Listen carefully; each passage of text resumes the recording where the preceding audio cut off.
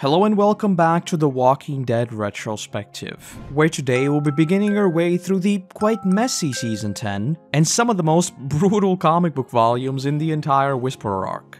With season 10, even more so than 9, in addition to the massive character differences between the adaptation and the books, there are also some very major remixes in the order of events. So as is trend at this point, we will be jumping around between the two versions for often prolonged periods of time just to make comparisons more one-to-one. All that said, buckle up and let us dive right into the penultimate season. As per usual, a new season means a look at the wider state of the franchise going into the heart of the Whisperer story. With season 10, we are already deep into 2019 and the year that shall not be named. So even for those of you who might have joined the series sometime later on, these are likely not distant memories. But for those of you following the series since the early days, I think I'm not alone in saying that the overall buzz surrounding the show was in a very very odd place. After the ups and downs of the Negan saga, the sentiment around the entire franchise was not in a great place. So there, it was unsurprising that engagement was just also down as well. With seasons 9 and 10, however, I feel like most fans were quite shocked just how well the introduction to the Whisperers went despite Rick's and Maggie's exits. And that's not even mentioning the already compounding absence of Carl and to a lesser extent Sophia, both of whom would have a significant role in this entire arc. But at the same time, I would be lying if I said I was as excited for season 10 as every other preceding season, which is why I can only really describe it as odd. Because like I said, I was certainly not disappointed by Season 9. I sort of found myself in this odd place where The Walking Dead was seemingly back to normal, but for whatever reason, I wasn't that excited for it. Hello, Editing Koroto jumping in. I can't believe I forgot to mention it, but the summer of 2019 is also when the comic just abruptly came to a close. So obviously, there was also quite a bit of sadness stemming from that, and likely covered my perceptions of everything to do with The Walking Dead. That said, back to past Koroto. And unfortunately, once Christmas for Walking Dead fans rolled around, that of course being Comic Con, I feel like that odd sense of hype, but not really hype, was only strengthened in my case. I think judging by the sheer amount of time I've spent talking about trailers and whatnot in the series, you'll know that many of them do hold a very special place in my heart. And as I mentioned with the season 9 and 8 ones, and them already having this odd sense of modernism that I wasn't really a huge fan of in the context of The Walking Dead, Season 10 is that, but turned up to 11. Somehow. Compared to the previous trailers that were always dark and gritty, this one just feels sort of generic to me. I guess I would say that it feels just personality-less and just like your typical Hollywood action trailer, with it even doing the, in my opinion, extremely overdone thing of playing this epic music, suddenly cutting to complete silence for a comedic joke, and then jumping right back into the music. You want to go back, don't you? I could go all night. When you juxtapose this trailer to the older trailers that, for example, interspersed Beth singing in this extremely bleak tone that happened within the episode, that sense of just modernism and sort of this upbeat action just feels jarring. Especially considering that we are dealing with the Whisperers, one of the most messed up groups in the entire Walking Dead universe. I know we're all exhausted, but we gotta push just a little bit more. Some food, medicine. Not a killer, and I know that. All we do is run. You're dangerous. And before, not toe to toe. I think the first half of this trailer is generally much more horror-centric, which I do very much enjoy, and there are certainly some very cool visuals in this one as well. But for me, it is the overall tone that really misses the mark.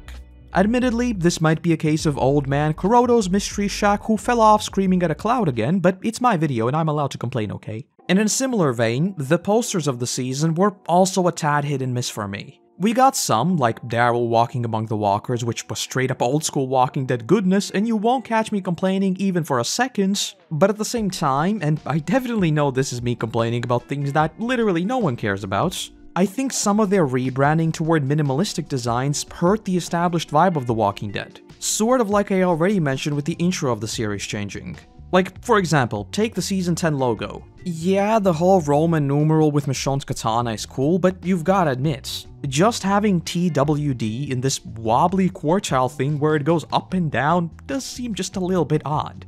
And before I get into the season itself, let us also address the usual question of how much material does the season adapt? Well, here, I think it is extremely important to know that at this point, the storylines are so drastically different that these numbers can be very, very deceptive, which we'll of course get to plenty more soon. Purely numbers wise, the crazy thing here is that if you take away the additional 6 episodes, Season 10 would have adapted a whopping 29 issues, making that roughly 1.8 per episode, which would make it even faster than the breakneck pace of Season 3. Accounting for the extension though, it puts it at a more modest but still very fast 1.3 issues per episode.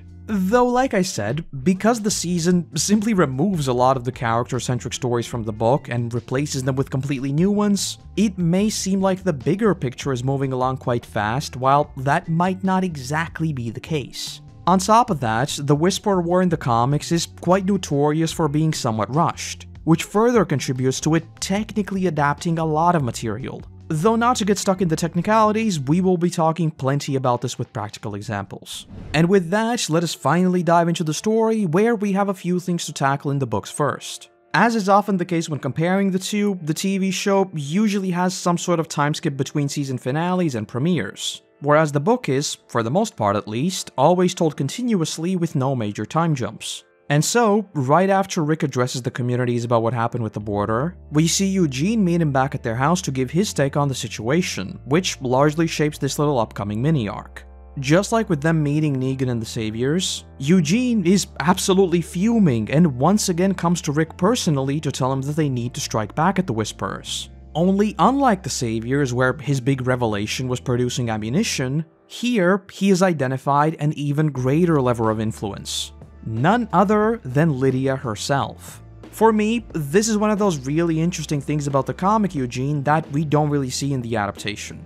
In the book, he is this interesting mix of extremely rational and calculated, but also extremely emotional. Because in this case, he has indeed identified Alpha's biggest weakness in just a few moments. Though rationally, he is also fully aware that without a plan, they are toast. Something we see on full display in just a few issues. He might be the one spearheading and fanning the flames of this upcoming resistance. But because underneath all of that burning hatred, he is still our smarty pants Eugene, he'd also soon be the one trying to put out said flames before it gets out of control.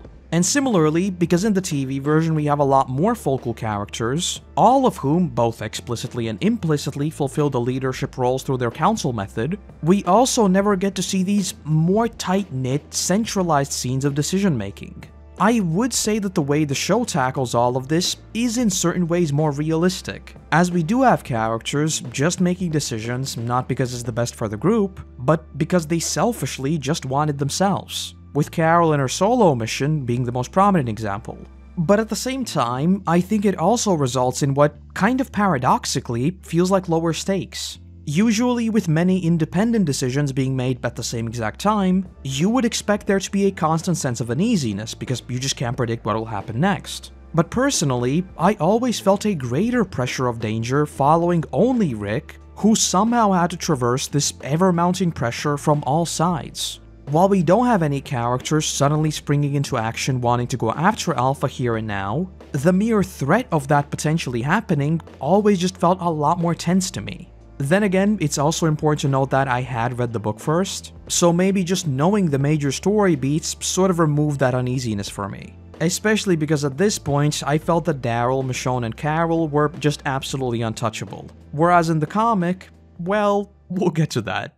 Though continuing right on from the Eugene drama, we see Rick talking to Andrea about how Lydia isn't safe here, and also noting that it also means Carl is not safe. Andrea, being the Giga Chad that she is, tells Rick that she would personally sneak both of them out of Alexandria and just somewhere else. Which is exactly what we see as the trio quietly disappears in the night. And soon after they vanish, we see a restless Rick, only for us to cut to the outside of his house where Michonne appears to be sneaking in.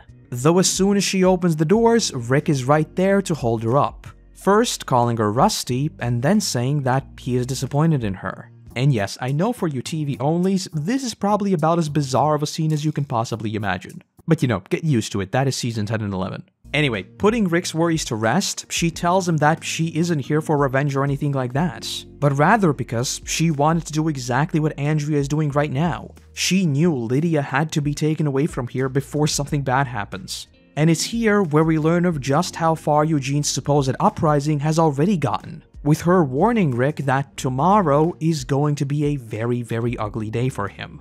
And keep this entire Eugene thing in mind as it will be super important in a minute when we get to the show. Though before we do, we also get to see a very, very raw conversation between Rick and Michonne. They begin by just talking about how each of them are doing, Michonne's tendency to push people away, etc, etc. Though as if this 3am talk wasn't already brutal enough, Rick then mentions that, in many ways, he was the same with Lori. He says that they obviously loved each other, but while he was still an officer, he saw things that he kept from her, things that changed him. And no matter how close they were, he could never share those things. And again, Kirkman using the good old implied horror here. Rick never actually says what he saw. He literally just says, there were things that changed me and things that were sort of brutal. But yes, he then says that with Andrea, it is so different. Saying they've lived through everything together and that the bond between them is stronger than it ever was with Lori. And maybe as some of you are thinking right now, Michonne then also asks, but why are you telling me all of this? To which Rick responds by saying, Horrible things happen. He lost his wife and his daughter. That pain never goes away, but no matter what, he keeps pushing on, and here he's standing, happy that he has Andrea. Saying that he's ashamed of even saying it, but that there is not a single thing he can do about it. Finishing by saying, just like with you. And this single conversation just so perfectly encapsulates Rick post time skip. On the face of it, he seems like a friendly old man bantering with you about running past him in the day or something like that. But underneath all of that, everything he has lived through in the apocalypse never went away. And with what we're getting into now, more and more that will begin to bleed through. And also, notice Rick's language here, though more on this in a second. And oh, Kirkman, you evil man. Because not only is this conversation excellent in the present day, but oh, does it hit so so much different in retrospect, and is the absolute shining example of what we missed out on in the adaptation. Just real quick, for you TV onlys, you know how we just talked about him being closer to Andrea than he ever was with Lori, and that their bond has helped him fight on and get Carl through all of this? Yeah, well, this is Kirkman, so in like three weeks in universe, Andrea dies. And so this entire little conversation becomes the perfect looming omen over everything that comes next. Because yes, with every single big decision thus far, we have always had those little bedtime conversations between Rick and Andrea. So with Rick now vocalizing just how much she means to him, what happens when all of that is ripped away? Plenty more on this very soon. And to quickly wrap up the Andrea side of the story, she just sneaks them over to the hilltop, both taking advantage of everyone still being in Alexandria after the fair concluded, and also leveraging her status to just tell everyone that they never saw them. And a smaller thing to note here that, again, I think might just come down to a real person playing out these scenes. But with Lydia in the book, there are some lines of dialogue here where I didn't think she is angry with the community for hating her, or rebelling against them, or anything like that. Rather, I always read it as a case of her being so traumatized by the Whisperer's way of life that she straight up doesn't grasp normal societal norms anymore. With her literally just saying, You told me your people take care of each other. Why do they suddenly want to hurt me? Not sure if it's just my own personal read on the character, but in the book, Lydia just seemed to be a lot less emotionally charged and more so just confused, if that makes sense. In the show, she would make a proactive decision to change everyone's minds. Whereas in the book, largely because Carl is there, she's just constantly asking him, What is this? How does this work? What's going on? Finally, jumping on over to the adaptation, and some of you TV onlys might have also picked up on a difference in tone, but in case you haven't, well, I think literally the opening shots of Season 10 illustrated very, very well. Keep in mind that the winter has passed since the Season 9 finale, aka literal months have passed since the border happened.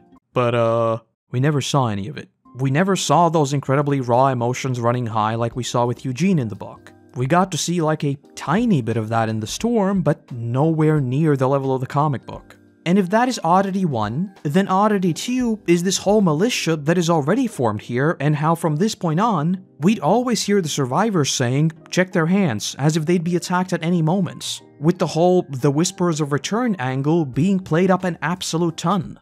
To me, it always had this weird sense that Season 10 opens with us basically being at war already. And for some reason, we never see the immediate fallout of the border, and all of the turmoil against Lydia specifically was, for some reason, lagging by three months. In the comic, while we obviously have all the patrol guards in their training, explicit combat training happens under much different circumstances, which we'll get to later on. Though the TV version honestly seemed to just be so afraid of the dragged out March to War storyline that this time around, they already dropped us into a pseudo conflict. Because, like, technically, we are not at war yet, we would still see them meet up and everything like that. But, like, based on how they treat each other, and again, the whole check their hands thing, it's as if we were already at war. And don't get me wrong, it makes total sense to be cautious and everything like that. Them training is 100% the right call. But looking at it in the context of the comic, where again we put so so much emphasis on literally the preceding day of the border, it just seems odd that we never got to see the fleshed out version of what we saw in the storm.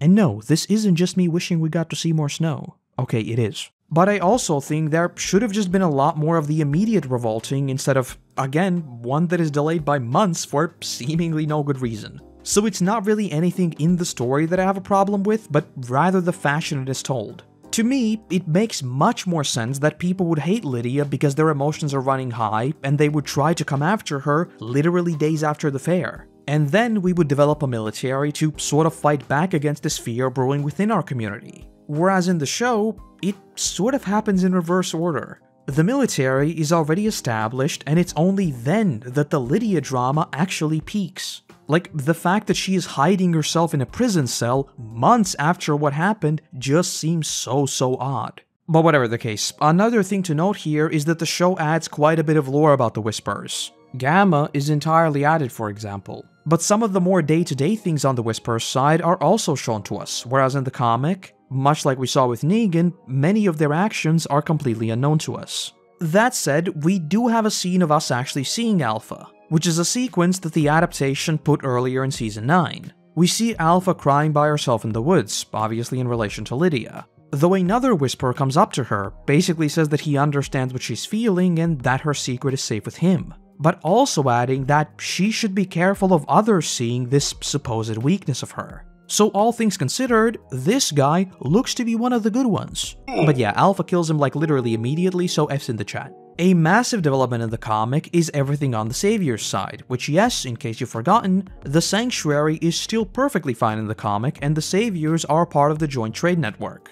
Though like we talked about last time, Dwight already spoke to Rick about wanting to step down from his leadership position, and so that's exactly what we see here. Though before I say anything else, do note that, for whatever reason, certain prints of issue 148 and 149 use the wrong names when Dwight talks about Sherry. Like, he randomly calls her Debbie and a few other wacky names, so I guess that's pretty fun, but just something to be aware of. That aside though, we see that Laura, an ex-savior, is quite worried about what might happen if Dwight just up and leaves the sanctuary. Especially now that we have found ourselves in the thick of yet another conflict, with her ultimately just saying that right now, you just can't quit. And as their conversation continues, Laura kinda sorta gaslights Dwight, saying that Sherry threw him to the curb as soon as Negan offered them safety. And while Dwight doesn't really respond to this provocation, saying that it still doesn't change how he feels, Laura suddenly says, There are people who appreciate you for who you are, going in to kiss him.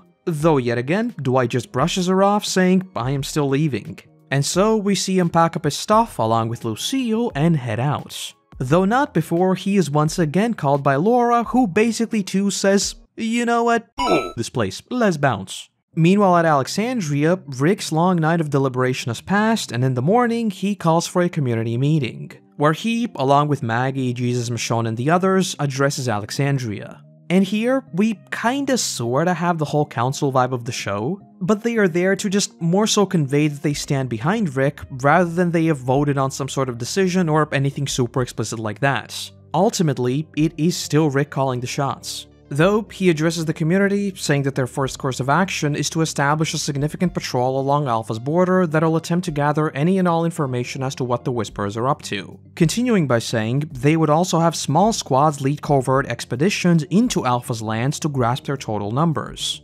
And again, just like I mentioned before, we do see this entire covert intel gathering scooting around Alpha's border, etc., etc. in the show as well. Only it happens literal months after the border was first established, which to me, just again, seems very, very odd. But anyway, despite Rick laying out this course of action, many people here immediately just yell that Rick is not doing enough. And while Rick does try to explain that they can just march into their lands with no plan, with Eugene too now trying to de-escalate the situation, things very very quickly get out of control and a full-blown brawl breaks out. And while many of our heavy hitters, including Jesus, are there, it still spirals out of control, which is when we see the return of none other than.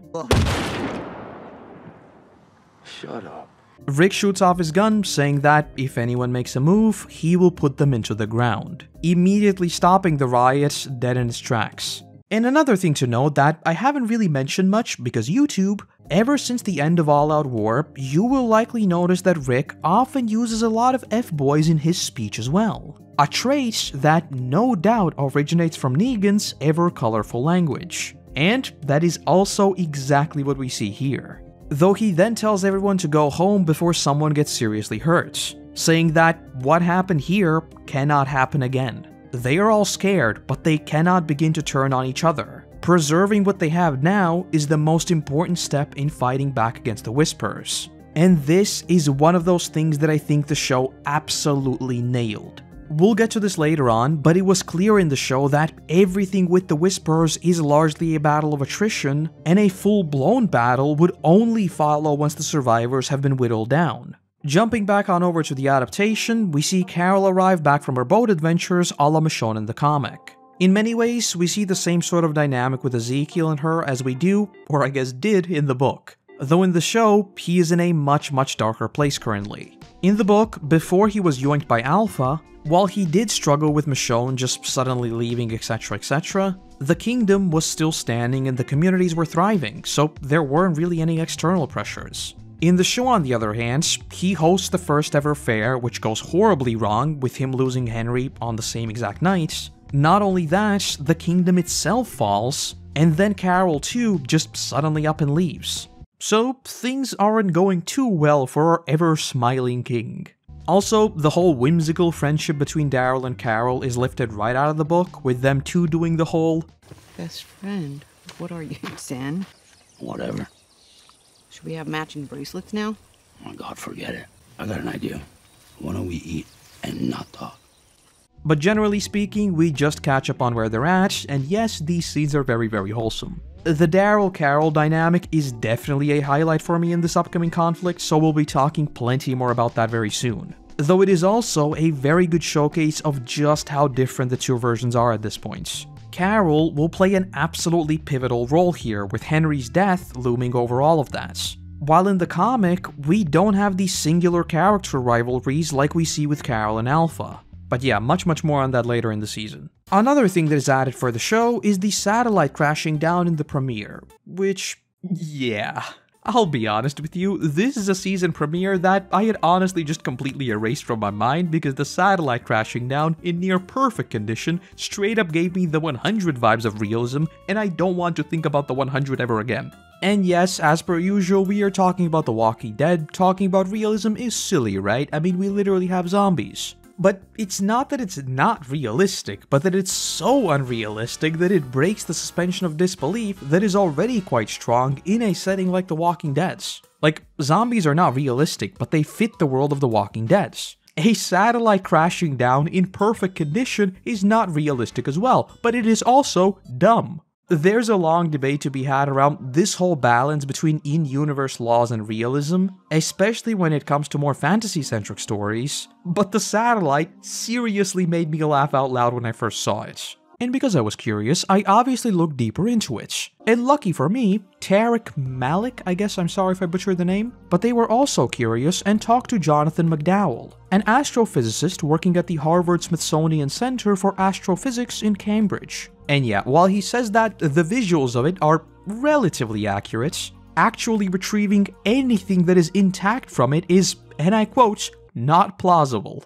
In interviews, Angela Kang explained that they thought this angle of paranoia and constantly being watched was one they wanted to play up. So a satellite, something that is literally designed to track and see movements, crashing down right next to them was just another symbolic way to convey said paranoia. And while I can definitely see that, it's just yet another case of me thinking that it doesn't feel like The Walking Dead, if that makes any sense. To me, most of The Walking Dead story was always a matter of actions and consequences of said actions. While this just feels so detached from everything else that it just feels, well, just that, detached. It's just a big action piece for the sake of having a big action piece in the premiere, which just again seems very, very odd to me.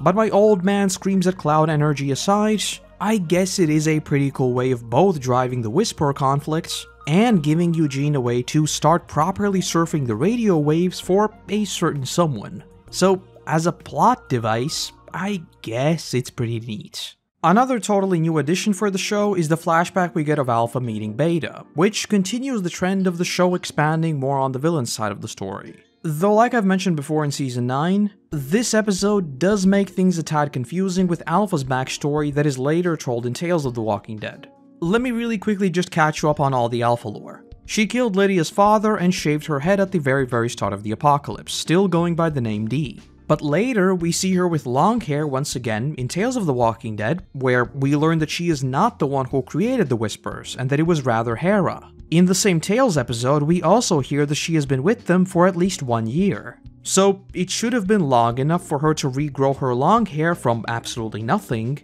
and to spend a whole year with them. But then in the season 10 episode, we see that she has once again shaved her head when she meets Beta some 7ish years into the apocalypse. So the timeline of all of these events has to be quite tight all things considered. But to lay out my current understanding of the events, this is it. She first started butting heads with Hera over leadership. She then left these so-called first whispers that are not created by her. Later, she met Beta, with whom she already knew how to produce the Whisper masks in the first place. And then she returned to challenge Hera and become Alpha herself. Generally, I think that's what makes the most sense, and then we'd sort of have the whole death of Dee in the apocalypse starting, where she sort of becomes the Walking Dead just like the main group, and then she's reborn as Alpha with her taking the helm.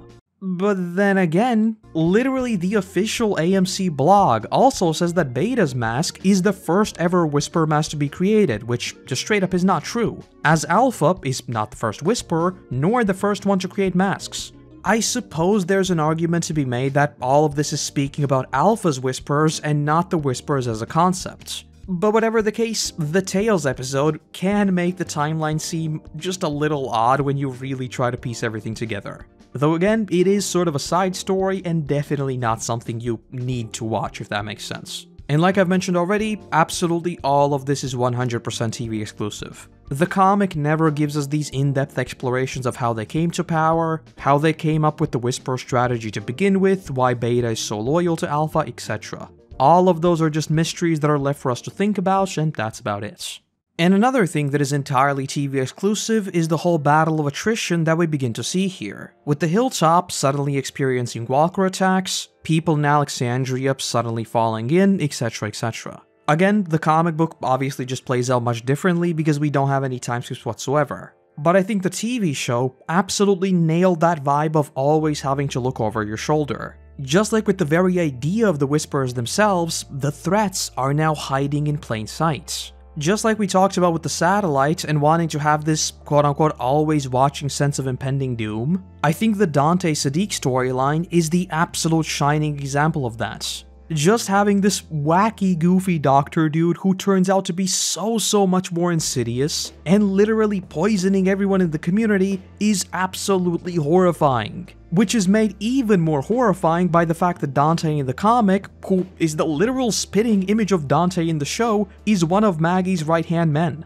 Like, this dude does seem very, very trustworthy, whether you're a comic reader or not.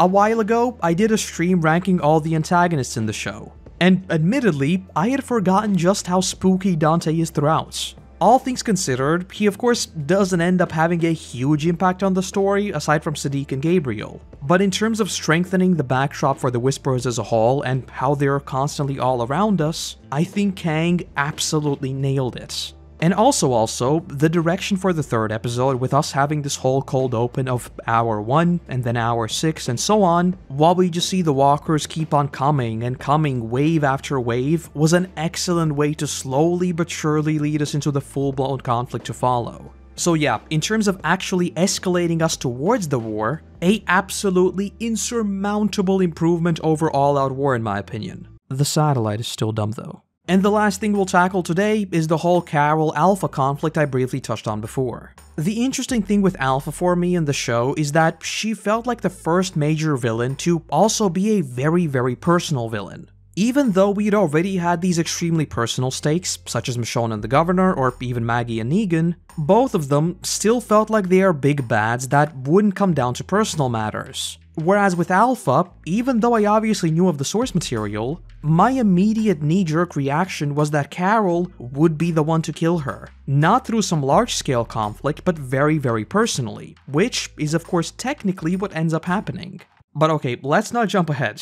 With the whole silly, wacky, goofy satellite falling and the survivors going into Alpha's lands, we have yet another meeting between her and the survivors at the border. And again, this is entirely new for the show. And man, the simple scene of Michonne saying, we only cross into your land once, and then Alpha correcting her saying, no, it's been three times, is just so, so good. It's like the ultimate reverse Uno of, oh no, you think you're sneaky. No, you're not. We see everything. It's just so horrifying. It's so good. And then Alpha baiting Carol into lashing out and taking a shot. Perfection. With just how big of a deal the border was the first time, hearing Alpha casually say they're moving it and making it again should obviously send shivers down your spine. And then having the wild card that is Carol just makes things that much more tense. And all of that is made even greater by, big surprise, the Daryl Carol dynamic. We of course see him notice that she is taking the pills, which had already been a whole point of conversation before, with Michonne too suspecting that she is having some sort of side effects. So on top of all of the fundamental whisper horror, we also have a case of Carol being an unreliable narrator, which immediately makes you question every single scene we see on our side. That whisper she just saw, are they even real? Are they there? Is that like a Henry vision? Like what's going on? So when it comes to just continuously building on paranoia and just always having us question what is even real, I think the show went over and above with nailing the horror. Because like, the book of Sophia, Lizzie, Mika, Sam, and Henry is just chef's kiss. So yeah, all of this is to say that we really didn't need that dumb satellite. Like yeah, realistically, 10 years into the apocalypse, if they are still unmanned, they would start falling down to the earth, but they would also explode, so how about we never do this again? It's dumb, it makes no sense, and it is completely detached from the rest of the story. Let's never do this again. And because we've got an absolute boatload of stuff to talk about with Negan and all the changes there, this is where we'll leave it for today. As you might be able to gather, Season 10 is a bit all over the place for me there are things that I absolutely adore, but there are also things that I feel like are very cheap, if that makes sense. And as the season goes on, things will of course get a tad more messy with the year that shall not be named also having a major impact on everything to follow. Though that is better left for another day. So, I hope to see you back as we continue in our journey through Season 10 and talk about the much, much different storyline of the books, and how instead of being peanut butter and jelly like Negan and Aaron, Negan was much more of a devil on Rick's shoulder and less so them being a very nice and tasty sandwich. That sounded very weird, but I'm leaving it in. And that's the video. Let me spoil the retrospective for you a little bit. The second part is mostly done already, and it barely covers the next episode and a couple of issues. So yeah, I truly have no idea how long Season 10 will end up being, let alone Season 11. But anyway, with that, I want to say a massive thank you to our current patrons and YouTube members who allow me to produce even more of these for you all. Without you, there'd be a whole lot less of my ramblings, so seriously, thank you, thank you. And in case you want even more of my rambling, there's a bunch of Walking Dead stuff on the second channel as well, so feel free to check that out. Link as always is in the description. Other than that, I want to say thank you very much for watching. I hope you have a great day, and hopefully, I'll see you in the next one. Bye bye.